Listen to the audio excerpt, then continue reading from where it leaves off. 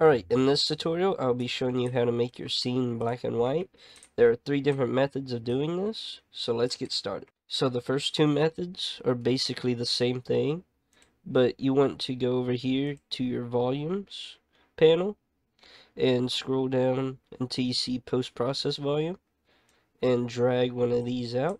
And if you want it exactly how I had it in the demo, then just expand the box within the area that you want to be black and white for the camera. Then come over here and scroll down to the color grading global and check saturation and set this to zero.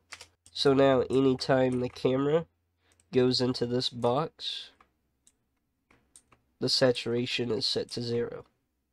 However, if you want it for the entire scene, no matter where you are, then in the details, just type in extent, and then there should be infinite extent that pops up.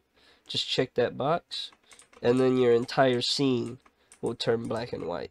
However, there is a third method where say you only want a few objects in the scene to actually be black and white.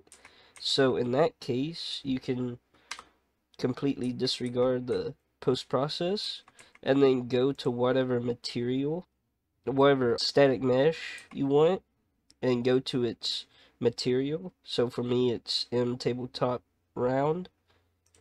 Go into it and on the final pin going into the base color, drag off of it and do desaturation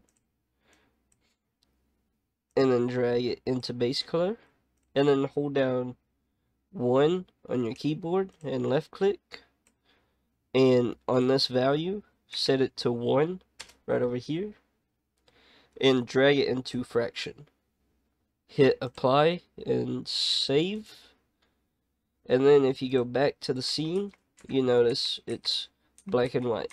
Alright, that's just a simple little tutorial on how you can handle making stuff black and white in Unreal Engine.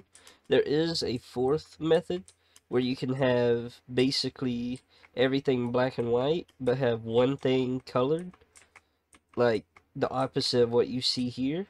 But that's a little bit more that goes into it.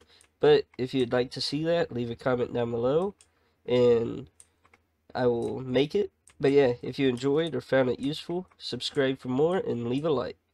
Bye bye.